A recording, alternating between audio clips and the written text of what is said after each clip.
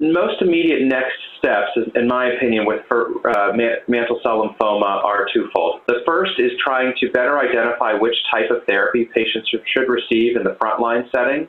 So, do all patients, for example, require a stem cell transplant just because they're able to receive one? Uh, for the past 15 years or so, based on a fairly old uh, randomized trial, we've been offering stem cell transplantation in, complete, in first complete remission for most patients who are fit uh, with mantle cell lymphoma, but there are now studies ongoing uh, using modern regimens uh, trying to identify whether or not uh, this is something that is still required. So that's something that we hope to learn in the next couple of years. Along those lines, we're learning more about minimal residual disease and its role in the management of patients with mantle cell lymphoma. Uh, there are commercially available assays to help determine whether or not somebody is MRD positive or negative. And while we recognize that being MRD negative is preferable to being MRD positive, I would say still is not clear um, how to act on those data. That is, if you have a patient who uh, is MRD negative after their induction regimen outside of the setting of a clinical trial, I would still strongly consider them for a stem cell transplant.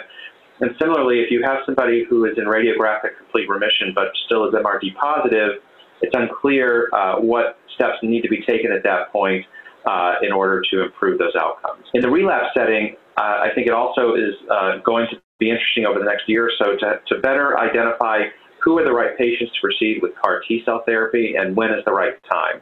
Uh, right now, in most cases, for patients who are experiencing a first relapse, we have recommended a BTK inhibitor based on results of prior studies uh, indicating that those agents are most effective when administered early in the course of treatment.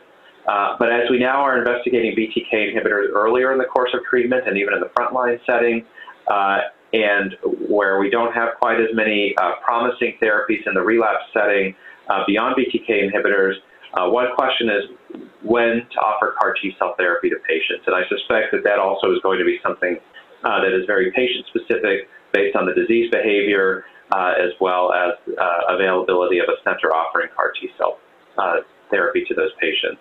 Uh, these are things that hopefully over the next five to 10 years uh, we'll learn more about and have a much better uh, standardized pathway.